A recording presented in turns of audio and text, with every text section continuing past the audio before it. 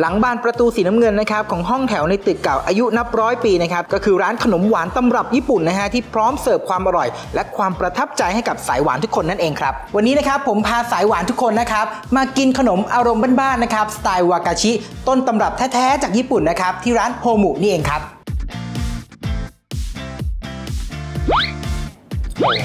เขาบอกว่าขนมที่อร่อยอร่อยโดยเฉพาะขนมอบเนี่ยเริ่มต้นจากที่ครัวนะ คุณผู้ชมใครจะรู้ว่าเอามายองเนสมาผสมกับช็อกโกแลต แล้วกลายเป็นช็อกโกแลตมายองเนสเค้กที่อร่อยอร่อยได้จริง ๆ นะครับ